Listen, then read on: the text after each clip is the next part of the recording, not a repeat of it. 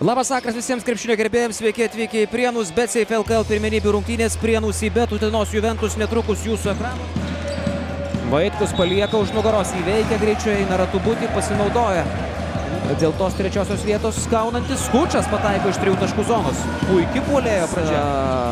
Kitose porose kol kas daug intrigos. Bryantas Crawfordas puikiai komunikuoja su Žygimantu Skuču.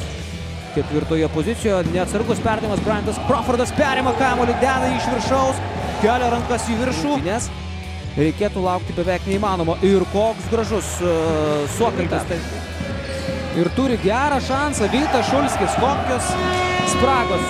Ir nekartą šį sezoną tai yra padarę, mes žinom. Ir, Rokas, ir Crawfordo perdavimas Kupšui, na, mm, verkimu spaudos konferencijose būna kaltinamas uh, Židrūnas Urbonas, bet į viską labai tiesiai skuba šeimininkai, Lekontas Sušinskui, du taškai ir artėja Židrūno, nepasidarys netgi kelinį laimėjus 32-16, o Mindaugas Kupšas dabar jau.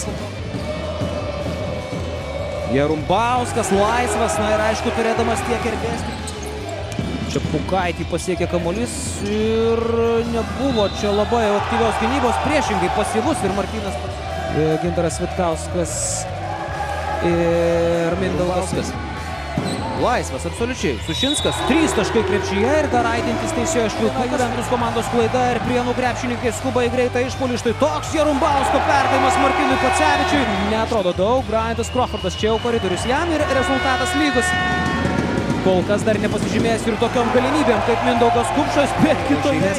Ir iš penktos vietos nukristo į aštuntą, bet prienų komandos indėlio tai niekiek ne. Jis į baudos aikštelę nerė ir Mindaugas Kupšas sako, ne, ne, ne, ne, ne, ne, ne. Nors ir apsiginti, bet galbūt uh, iškristi iš rungtynių. Sargiūnas išdarė Igną Vaikų.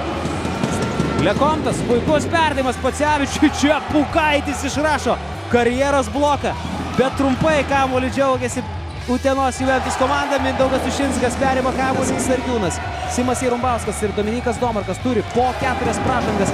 Aišku, vertina Juventus į trečią vietą. Ignas Sargiūnas neatsisako dar šiandieną. Žiūrint uh, į ryt, po ryt ir pirmadienį. Pirmadienį baigsis reguliarusis sezonas. Jeigu Šiauliai pralaimė šiandieną Neptūnui, tai tos rungtynės irgi komandams jau nieko nebelems.